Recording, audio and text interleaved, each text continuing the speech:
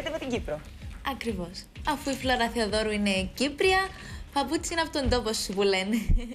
Ε, η Φλόρα Θεοδόρου, σύμφωνα με το δημοσίευμα του Showtime CY, που ελπίζουμε να Αυτό είναι... το Showtime CY όλο βγάζει λαβράκια μου Ωραίες φαίνεται.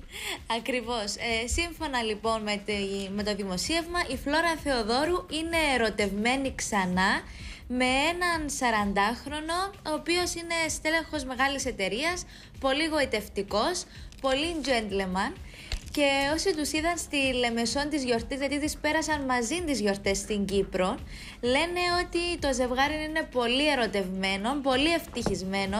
Εδώ Τις και πόσο συμπεριφέρει καιρό και υπάρχει άψογα. αυτή η είδηση; Η είδηση βγήκε χθες.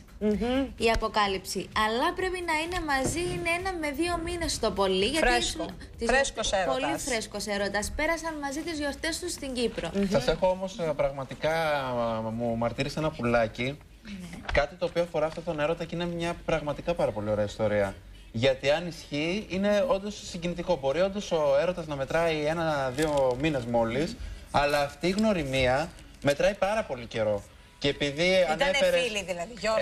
Ε, ήταν Υπήρξαν φίλοι φίλοι. και ήταν, ο- ήταν Το ένας από την Κύπρο, άνθρωπος... Γιώργο μου. Ναι, ναι, ναι, από την Κύπρο ήταν Ναι. άνθρωπος που την στήριξε πάρα πολύ σε διάφορα διαδικαστικά και δύσκολα πράγματα τα οποία είχε να αντιμετωπίσει η Φλόρα Θεοδόρου κατά τη διάρκεια του χωρισμού της με τον ε, Χρήστο Δάντη.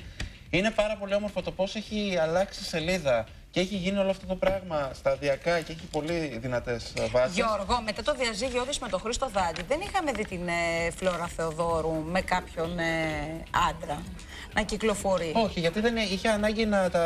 Δεν ήθελε να κάνει σπασμωδικές κινήσεις. Να μείνει λίγο μόνη της. Ήθελε να μείνει Τώρα που μόνη είναι της. Λογικό είναι. έτοιμη, νομίζω ότι ευχόμαστε να έχει βρει και τον κατάλληλο. Τώρα να κάνει σπασμωδικές κινήσεις όπως είπε και εσύ, να πάει σε κάποια λάθος σχέση πάλι. Δεν έχει λόγο. Ζωή, και τι θα κάνεις τε- τελικά, θα μείνει ας πούμε Κύπρο μετά μόνιμα, θα τη χάσουμε; Ε, όχι, νομίζω ότι έχει να μας προτείνει να ετοιμάζει πολλά πράγματα και στα επαγγελματικά της. Είναι δημιουργικός ο έρωτας δηλαδή. Μμμ. Συγκεκριμένα είπε σε πολύ κοινό μας φίλο ότι είναι στην καλύτερη περίοδο της ζωής της και επαγγελματικά και Είναι. προσωπικά. Ο κύριος ο συγκεκριμένος ε, έχει καμία σχέση με τα μουσικά δρόμενα; Ο φίλος της Φλόρας; Ναι, ο νέος έρωτας. Όχι, είναι ε, στέλεχος μεγάλης ε, Έχει επιχείρησης. καμία εταιρείας. σχέση. Καμία Πάντως, σχέση. Αυτό το ειδήλιο μου θυμίζει λίγο Ηλιάδη Μιλιοτάκη. Δεν σας έρχεται λίγο στο μυαλό; Από μια μεγάλη φιλία, μετά προέκυψε ένας μεγάλος έρωτας και μετά τα σκαλιά της εκκλησίας που έρχονται. Ναι, δεν ήταν Έτσι είναι, ακριβώς βλέπεις αυτό ποιοι που σε λέτε αυτό. στηρίζουν. Μμμ, Έτσι.